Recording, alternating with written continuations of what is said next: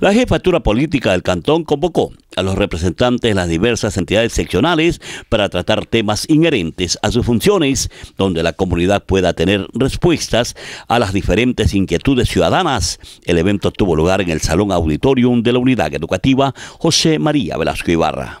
Los gabinetes distritales, como ya tenemos conocimiento, son una iniciativa del gobierno de nuestro presidente Rafael Correa Delgado para acercar la gestión del Estado a la comunidad, el cual propone una metodología de trabajo que promueva la credibilidad de los ciudadanos en las instituciones públicas y en la democracia, al tiempo que fortalece la integración y cooperación entre el gobierno nacional, las entidades públicas provinciales y locales. Los gabinetes distritales brindan la oportunidad de que los funcionarios del Estado establezcan un diálogo directo con la comunidad para conocer sus necesidades, no para hacer promesas, sino para buscar soluciones y definir acciones conjuntas a corto, mediano y largo plazo. En el contacto con la ciudadanía, los ciudadanos rinden cuentas sobre el cumplimiento de los compromisos de gobierno, promueven la vigilancia y el control comunitario hacia la gestión pública, generando transparencia y estimulando la acción colectiva contra la corrupción y el derroche.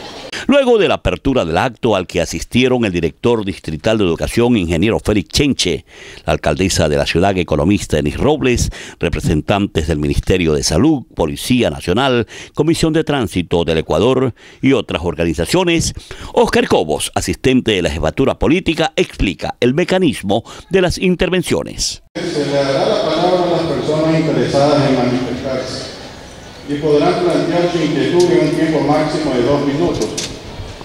Luego, la autoridad respectiva podrá despejar dicha inquietud en un máximo de tres minutos. El presente diálogo distrital se abordarán temas inherentes a salud, educación, seguridad ciudadana, otros servicios básicos como electricidad, telefonía, agua potable, unidad de gestión de riesgo y todo lo inherente al Plan Nacional del Buen Vivir. Esperamos que este gabinete distrital sea provechoso para que exista un mayor acercamiento con la actividad que llevan a cabo nuestros gobernantes y que exista compromiso de ambas partes para avanzar como país. Para acto seguido, el licenciado Nelson Reynoso, en representación de la Unidad Educativa Velasco Ibarra, solicitar una explicación a quien corresponda por el retiro del médico y odontólogo del colegio. Para el Departamento de la Institución de la Salud, Hace un año, más de un año, nos retiraron al médico, al odontólogo del departamento respectivo. Y hasta ahora no tienen los estudiantes cómo ser atendido en caso de emergencia. Es una situación crítica que estamos viviendo. Y segundo, eh, la limpieza del terreno no tenemos disponibilidad para invertir en dicha obra.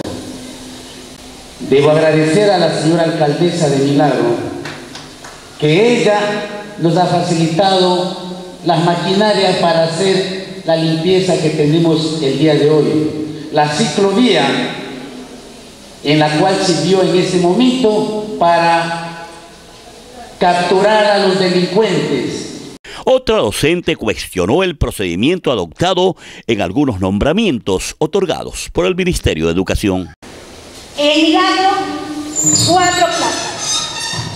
Pero yo pregunto, ¿por qué solamente cuatro plazas en nuestro cantón cuando en algunas instituciones educativas de renombre en el mismo solamente están dirigiendo personas que ni siquiera han concursado.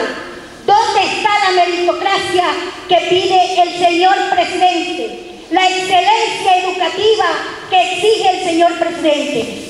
Los que hemos participado en este concurso hemos ganado en base a todas las exigencias que el gobierno ha pedido para a mí se me selecciona la, la zona 8, residiendo yo aquí en Milagro. Fueron varias las interrogantes planteadas en el gabinete distrital realizado el último jueves en el Salón Auditorium de la Unidad Educativa Velasco Ibarra. Vicente Peso, Telemilagro.